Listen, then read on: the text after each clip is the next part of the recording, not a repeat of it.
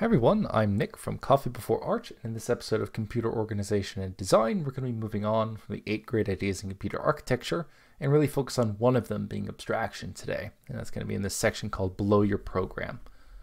So when we've got some big piece of software, or even a small piece of software, right? So it could be something like a big, large database, or you know something that's not, say, millions of lines of code, maybe just a few thousand. A lot of times these things rely on sophisticated software libraries that do very complex functions for us. However, you know, deep down when we start talking about the processor, the, the hardware itself has uh, you know only a subset of things that it can actually do, right? And these things are often extremely simple, just very low level operations. So things like add, subtract, multiply, divide, uh, and do comparison operations. And you know the reason why this works so well is that you know, I can have something that's written in a very high level language that does complex things. And then once it gets it down to the processor, uh, you know, it can be translated into something that's just a sequence of very, very simple operations. But I don't have to worry about, you know, what's going on underneath. I can just worry about my high level code. And that's really uh, comes from this great idea of abstraction, right? So how do we abstract a high level language from, you know, the low level assembly language that's actually getting executed? So it all comes down to this idea of having abstraction. So up here at the very, you know, very outer layer, we'll have something like application software. So this will be your database or, you know, even something as simple as a hello world program. Uh, then in between the hardware and the application software, you've got something known as system software. Now, system software is described here as, um, you know, providing services that are useful like uh, operating systems, compilers, loaders, and assemblers. But what it really boils down to a lot of times is this is software that's going to be using system calls in order to talk with the operating system. So the operating system itself you can think of as a program that's running all the time that helps us manage resources and it's really just there to get our programs to run or help help us run our programs. And so it's going to handle things like basic input and output, allocation of resources like storage and memory, and then providing, you know, certain protections. So you know, certain processes maybe shouldn't interact or intermingle in terms of, you know, reading from each other's address spaces. Uh, likewise, certain users shouldn't be allowed to, say, read certain files, so we have to protect that as well. Or uh, we have to protect from that as well. And the, how we interact with the operating system is, like I said, through system software, which use system calls. Uh, but the key thing is, is while the operating system has to worry about, you know, actually interacting with the hardware, System software just has to worry about a nice clean interface of system calls. And likewise, application software, it doesn't have to worry about, you know, using these system calls. It has itself a nice clean interface to interact with. So let's say I'm working in a high level language like Python, and I want to say read in a string from the user. Now in my code, I can just write something like input, and eventually I'll get you know, some string that I type in on the keyboard, I press enter, and then I'll have it in my program. Now, the nice thing here is that I don't have to worry about, you know, how does something that I type on my keyboard get, you know, go through, say, the USB connection that my keyboard's attached with, and eventually get into memory or into the processor and actually get, you know, spit back out and displayed on the screen. I don't have to worry about that. It's abstracted away from you, uh, from me. And that's where abstraction can be really, really beneficial. Right. And so system software is uh, one of the ways we get the, you know the separation between the applications we write and the actual execution on hardware. Right. So um, the way that we we get something though, the, these complex programs, they still have to be again boiled down to the instructions that a processor understands.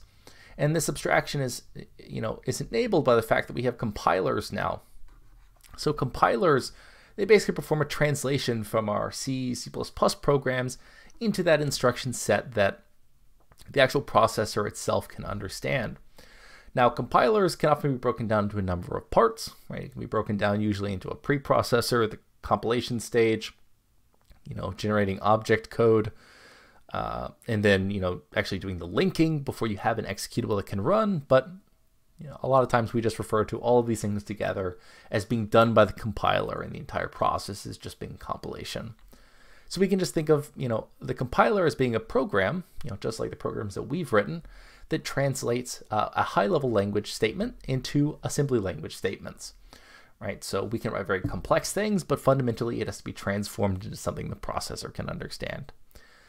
So it's important that we talk a little bit about these fundamental instructions. Now, these fundamental instructions are really just going to be, you know, they're going to be similar to uh, words, you know, in the English language. We have a limited space that we can, uh, we have a limited space uh, for these words, right? And so this is an instruction. So an instruction, uh, it'll be a sequence of bits. So bits being uh, just an individual, you know, base two, one, or zero.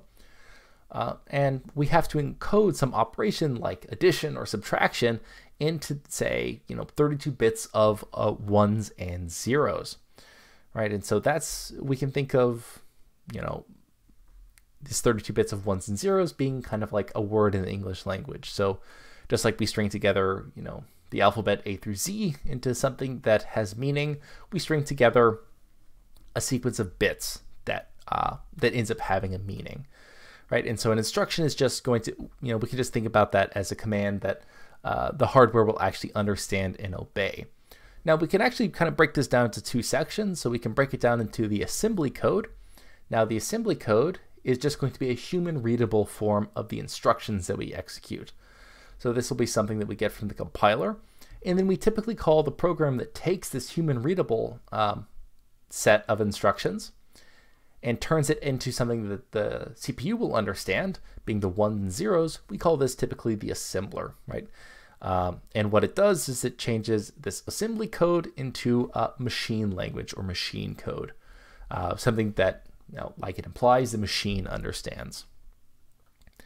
Now, uh, it's important though that we still kind of tie this all back to, you know, why do we care about having high-level programming languages in the first place, right? So if we have to go through all this, you know, pain of translating a program, you know, starting from, you know, a high level language like C, so this is just a simple function that performs a swap operation between two elements in an array.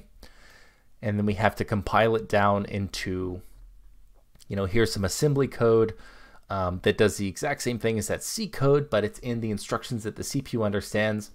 And then we have to pass that again uh, to another another program being the assembler that'll turn it into the zeros and ones, you know, this seems like a lot of effort. So why do we actually care about this? And there's actually a number of reasons why we, we do care about this, and we care about this a lot. Um, so one of the important benefits is that we can use, you know, English English words in algebraic notation.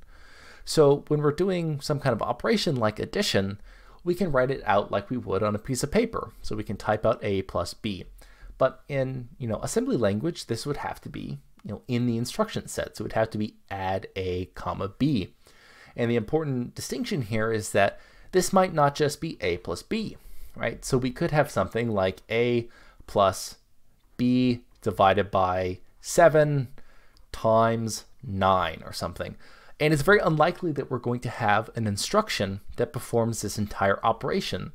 So inside if we were to write this in say assembly language we would have to you know we'd have to synthesize this operation using multiple instructions so we'd have to say do an addition uh, or rather we'd have to do say this division we'd have to do a multiplication then we'd have to do an addition so we would have to kind of synthesize this entire thing out of multiple instructions but in a high level language we can just write it out on a single line that's intuitive for us to understand likewise you know, there's what we call domain specific languages. So, you know, maybe we've got a domain a domain specific language for something like uh, molecular dynamics, right? So if we've got a specific language that's meant to help out and is catered towards programming things to deal with, you know, simulating molecular molecular dynamics, then, you know, it's a lot easier for me to write my program in that language than it would be to do it in some arbitrary instructions of, say, just addition, subtraction, multiplication. So it really helps with productivity. And uh, the other thing is the idea of portability that we, we kind of touched on earlier.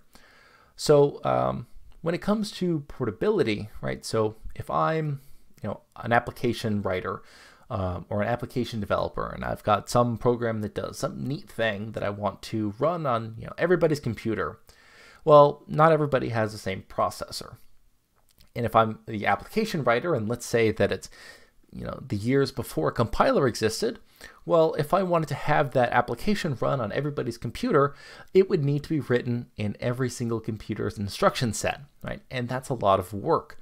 Now, the nice thing about compilers and this idea of abstraction is that the application writer can write their code in, say, uh, you know, C or C++ or something, and then we just need a compiler on every single computer, and then we can just take that that one uh, single you know application and just recompile it on every single uh, for every single architecture target, right? So we get this great uh, this great portability, and we're separating the fact that you know the application writer uh, doesn't have to know about the underlying hardware. They can abstract themselves away and really just focus on uh, just focus on their software. So these are kind of the, you know, the main benefits of abstraction and some of the layers that we'll see abstraction as we go uh, into this book. So, you know, next in the, uh, in the next video, we'll go into the section 1.4 under the covers, and we'll start talking about, you know, what is actually inside of the CPU and the different facets of the architecture that we're going to be uh, discussing later in this book. But that's going to go ahead and do it for this episode.